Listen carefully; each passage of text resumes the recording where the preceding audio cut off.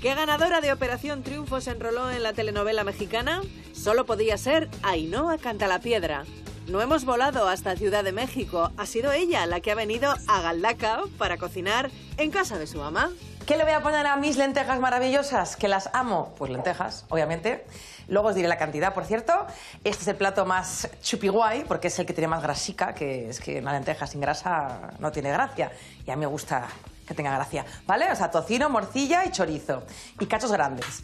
Eh, el del colorido, colorido, pues mira, pimiento, zanahoria y cebollita, que luego lloraré cuando las pele, pero bueno. Y ajo, que me encanta. A mí la mamá me dice, le echa mucho ajo, sabe mucho. Me encanta el ajo. Eh, yo no soy vampira, así que no tengo problemas con eso. Y las hojitas de laurel. Entonces, que esto me recuerda aquí, a mi casa, a, a mi cocinita de muñecas, como siempre digo a esta cocina, porque me recuerda a la comida de la mamá, de la ama, hasta con la familia. Y cuando estoy allí sola, pues qué mejor que hacer algo que me recuerda al hogar. Es que oí una vez que te podía salir un árbol en el intestino si se te quedaban las pepitas, tía. Y me cago de miedo. Bueno, bueno, no abramos el melón de las leyendas urbanas y hortelanas, porque nos lo comeríamos entero. Tú, que como la Garmendia también eres un espíritu viajero, ¿por dónde te has movido? Pasé a los 20 un año, cuando era una mozuela, a irme a Barcelona. Luego mi vida pasó eso por muchos lugares y he estado últimamente en México, lindo y querido. Ahí andado, donde no había la mitad de esto, tengo que decirlo. ¿eh? ¿Y ese salto transoceánico? ¿Qué te llamó de México? Pues mira, fue porque acabé una relación eh, de nueve años, que ahí es poco, y, decidí que me quería, ¿sabes?, cambiar un poco de aires. Resultó que, en uno de esos viajes, pues Televisa, que es una de las empresas más importantes de telenovelas, editorial, televisión del mundo, pues me dijo, venga, vámonos, te compro canciones y compones para, pues eso, telenovelas y demás. Me compraron como 14 o 16 canciones, que son un huevo. Hablando de cocina. es verdad. Aparte tenían, me, enteré que tenían tan solo cuatro o cinco compositoras mujeres. Y dije, ¿perdona? Ajá, o sea, no, hay que quedar más caña. Entonces empezaron a comprar eh, canciones y las colocaron, como te digo, en, películas, en telenovelas, en tal y cual. Y podía trabajar desde casa, tenía mi estudio ahí montado. Ay, no, haz una cosa, haz, la otra. Y ahí no agarraba y. Y lo cantaba y lo enviaba y a trabajar. La frase que se dice mucho es de aquí soy, ¿sabes? Así que me quedé, me quedé por muchos años, por siete añitos. Tú fuiste la única razón de que este pobre corazón.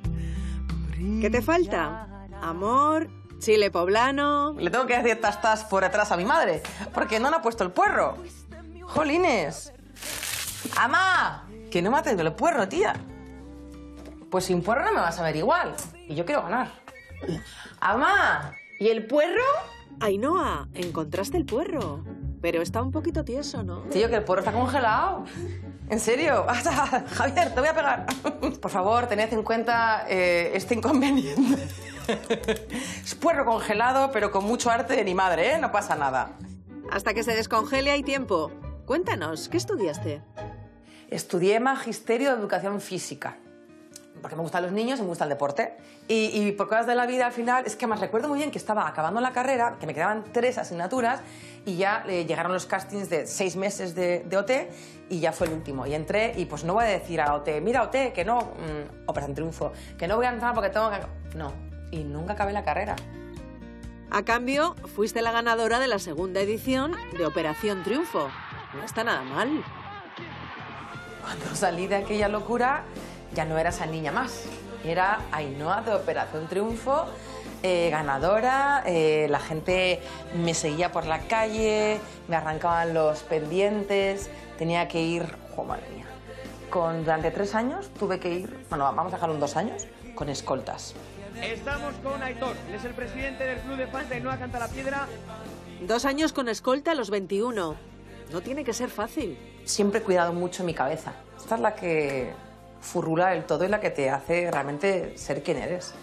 Sin duda. ¿Y tú venías así ya de niña? Bueno, en el patio que tenéis ahí atrás, ese patio, se hablara, demasiado. Aquí estaba mi madre cocinando y ahí, no, sube ya.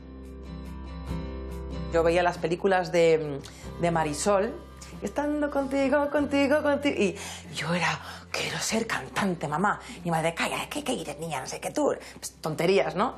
Y yo me bajaba ahí y, me bajaba un pañuelito. Empecé con tonterías. Conseguí unas castañuelas, conseguí una flor y ya me hacía yo como mm, mi drag queen personal. Y lo mejor de todo es que, claro, eh, bajaban las amachus de los demás niños. Y pues yo era la divertida, la loca niña que me ponía a hacer el tonto y... Pero luego decía, chines, chines. Y me daban dinero, tía, me daban pesetas. Mira la empresaria precoz. Tía, unas lentejas sin choricillo y sin todo esto no tienen enjundia. Enjundia, ¿qué palabra? Enjundia y agua, otro ingrediente importante. Porque luego si no a veces te quedan súper aguadas, que es que eso es lo que más odio. Bueno, no sé si odio más, unas lentejas secorras o unas lentejas humedorras, la verdad. O sea, que al punto, venga. Yo sé que de cuando le veía a mi ama de chiqui, que ponía siempre como la marca hasta aquí. Le voy a poner hasta la, hasta la mitad. ¿Y lentejas cuántas? ¿500? ¿Tres tazas? Eh, por cada persona, por cada comensal, tiene que ser medio vaso de estos. Como somos tres, ¿somos cuatro? Dos vasos entonces. Ay, que se me cae la mitad, espérate. Ahí va. A ver, os digo una cosa. Yo solamente pongo aceite, pero como quiero ganar, le voy a poner sal. Porque si no pongo sal, pues no tiene vida. Díselo a los hipertensos del mundo. Se llama Mi Vida. Esta muñeca es la muñeca de mi vida. Era de mi hermana y se la robé porque me enamoré de ella. Iba a todas partes con ella. A la playa, me la llevaba a la playa, le ponía crema. le ponía gafas de sol. Es que yo lloraba. ¡Apa, hay que operarla, hay que operarla! Y mi padre se ponía como médico y la operamos. Y le hacíamos anestesia, la anunciamos de todo. Y esperad, que es que no es la única. Es que, claro, encontramos a la gemela. Uy, que se me va por ahí. Más limpia, como podéis ver, un poco más jovencita, con operaciones y todo. Mi mamá la odia, esta muñeca. Está toda negruzca asquerosa. Eh, ¿Compramos una nueva? Y yo, sí, sí, sí, queremos una nueva.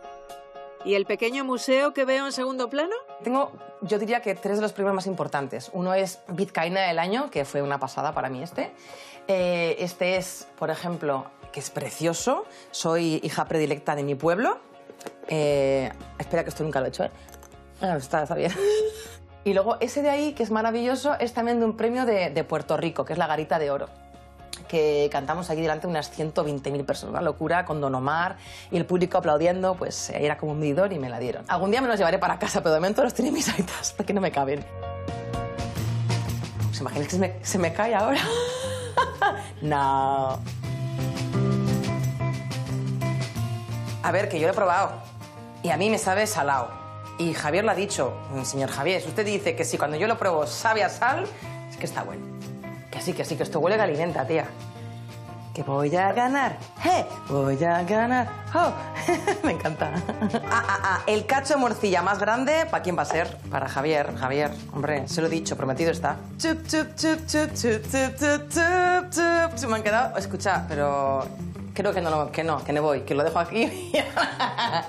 Oye, es que huelen súper bien, tía.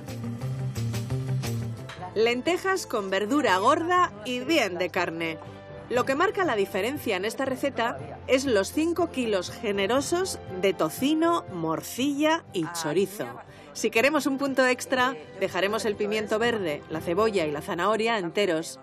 Que se vea bien lo que se come. Ajos, todos. Esto sí, picaditos. Mastiquemos lo demás. Sal, cuanta más, mejor.